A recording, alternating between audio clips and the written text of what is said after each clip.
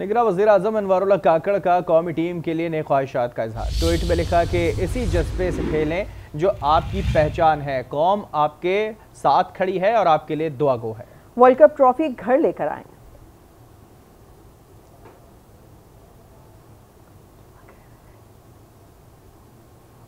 निगरा वजी अजम अनवर काकड़ ने कौमी टीम के लिए नौ ख्वाहिशात का इजहार कर दिया है। उन्होंने ट्वीट में कहा है कि इसी जज्बे के साथ खेलें, जो आपकी पहचान है और जो आपको दुनिया में रोशन रखती है। आप कौम के साथ और आपके आपके लिए दुआएँ भी कौम की मौजूद हैं।